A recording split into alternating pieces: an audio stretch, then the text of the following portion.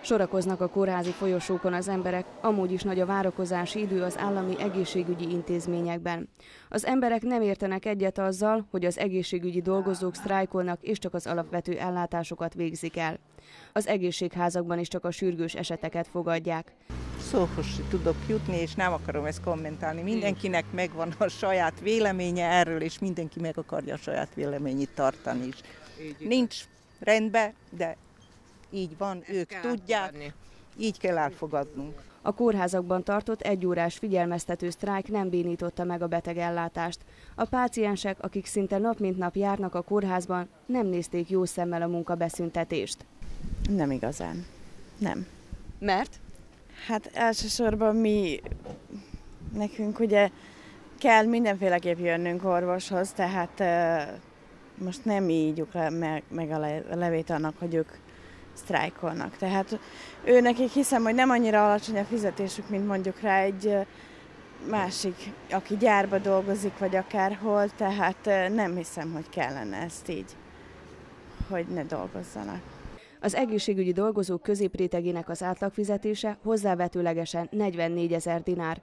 Az egészségügyi technikusok eddig mintegy 40 ezer dinár körül vihettek haza, ami 2009 óta nem növekedett. Abban az esetben, ha most a megszorító intézkedések életbe lépnek, ez akár 30 ezer dinár is lehet.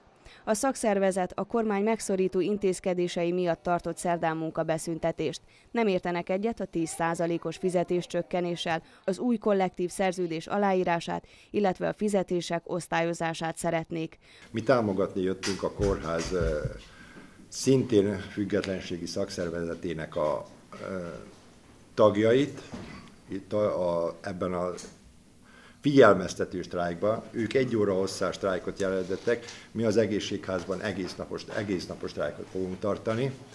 Azzal, hogy a kórházban csak az ő szakszervezetük jelentette be ezt az egy órás figyelmeztető sztrájkot is, a kórházban se egy, négy szakszervezet van, akik be, akiknek be kellene jelent, be kellett volna jelentsék, és ők nem jelentették be, úgyhogy csak a, a függetlenségi szakszervezet jelentette be, és csak is egy órás figyelmeztető sztrájkot. Mink az, egész, az egészségházban egész napos sztrájkot tartunk, és minden így négy szakszervezet jelen van. A szakszervezetek vezetői azt mondják, hogy ez az egynapos sztrájk alatt a betegeket nem hagyják cserben.